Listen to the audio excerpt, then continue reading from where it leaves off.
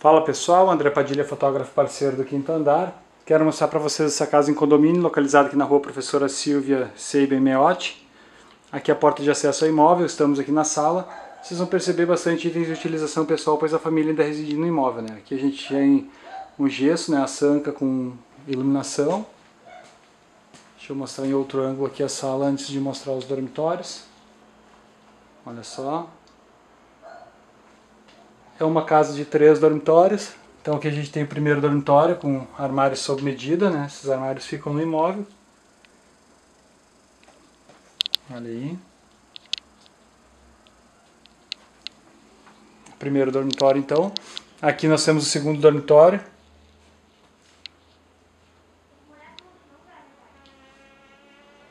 Olha só.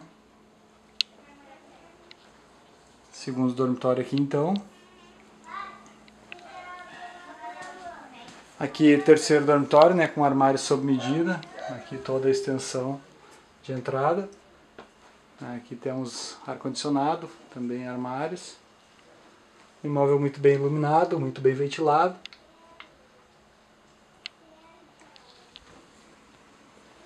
Aqui temos o banheiro social, com espelho, pia, armário, box de vidro e chuveiro a gás, chuveiro e torneiras né, com aquecimento a gás, banheiro todo revestido em azulejo, muito bonito o acabamento.